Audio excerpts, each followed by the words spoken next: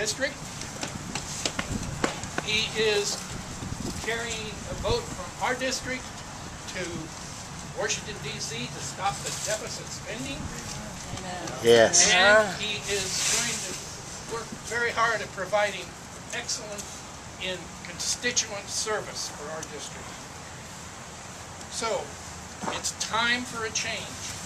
It's time for a conservative vote in Washington. Yes. Yeah. Yes. That's right.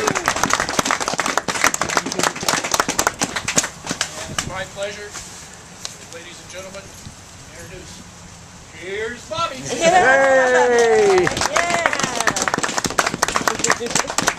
Thank you very much, Chuck. You know, thank you everyone for coming out on a, on a cold morning is what we got here. But, you know, I don't know if anybody got to see the uh, debate last night. Did everybody get to see Yep. it? Yes. Yes. You know, I, I kind of towards the end there, I felt like maybe I should have had some headgear on. But, uh, you know, I believe truly that this is the, uh, the most important election in the history of the United States of America. You know, we've seen the last two years what they've done to our country, you know, and, and the environment they've, they've uh, created for our businesses, and, and they continue to keep, keep putting a bullseye on our small businesses, and that's one of the things that we have to get rid of. And I believe truly from the bottom of my heart that on November the 2nd, when the Republicans take control of the House, the business owners across the United States of America will have some peace of mind knowing that, hey, now we've got some direction, and there's no more of this shoving stuff through, uh, no matter what we think. You know, last night when I closed the, the, uh, the debate, you know, I talked about the greatest generation. Yes. And I talked about how they were called upon and how they rose to that occasion.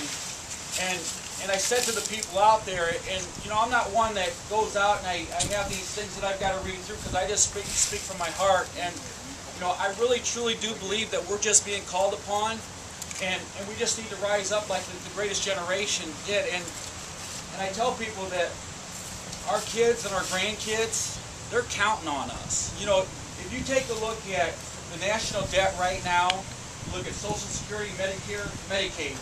Every person in America with the obligations to Medicare, Social Security, Medicaid, we owe almost $250,000 almost.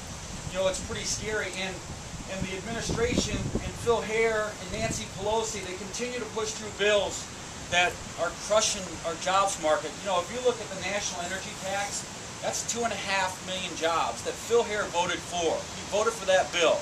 He can't get away from his voting record, and that's the thing that we've held him accountable for the whole time.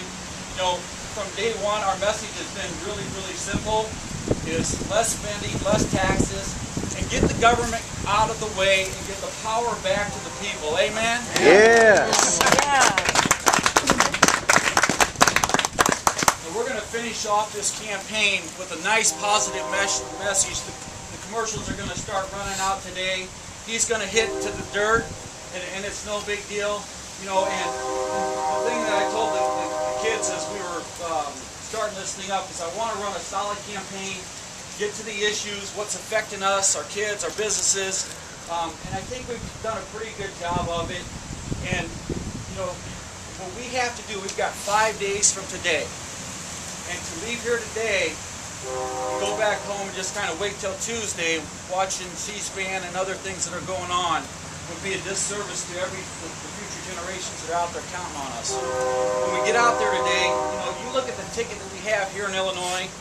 Um, I get really upset when I look at the 17th district that I was born and raised in, and the destruction that's happened to it over the last 30 years. We watch job after job after job leave, and you know, from here till Tuesday, 7 o'clock at night, we have an obligation. We've got to get as many people out to vote as possible. Um, you know, the message is really pretty simple, and I, I, I closed with it last night. I talked about Illinois is broke, Washington's broken, and the same people that have gotten us into amount of problems to get us out. And I think it's time to, to really move this country forward, and that's how we do it. And, and I really do appreciate your support. We need to get to the polls. We need more money, of course, you know, and you know anything, anybody that can do anything on that end. We've got a, uh, a newspaper that's coming out this week. Everybody should be getting it in their mailboxes. It's a nice, positive message. Uh, nice contrast between myself and uh, the opponent that votes 98.8% of the time with Nancy Pelosi. So, and you know, when I talk to people, I say, you know what? If you believe that Nancy Pelosi should be running this district, I'm not your guy. You know, and, and, and I think it's so true because that's where we're at.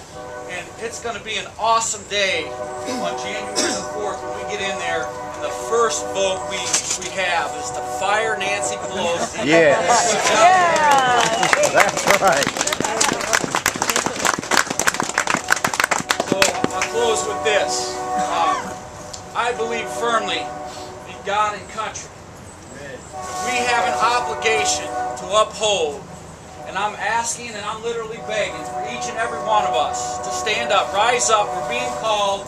Heed the call. Get people to the polls.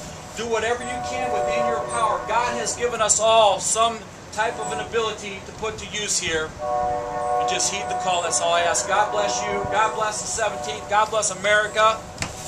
Let's get this done. And God bless Bobby Schilling.